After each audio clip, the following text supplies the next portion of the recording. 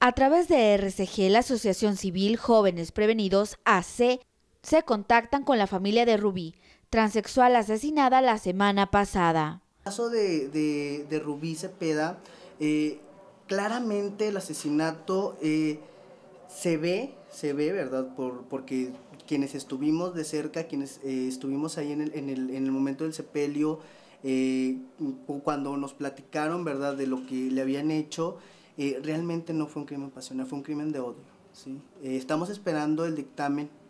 Mira, el día jueves estamos invitando a toda la, a toda la gente, a padres de, de homosexuales, a padres de lesbianas, a padres de, de trans, que asistan a una conferencia que se va a dar en el recinto a Juárez a las 5 de la tarde. Y a partir de ahí eh, vamos a, armar una agenda de trabajo para exigirle al Estado, para exigirle a la Secretaría de Seguridad, ¿verdad? Que se aclare el caso, queremos respuestas.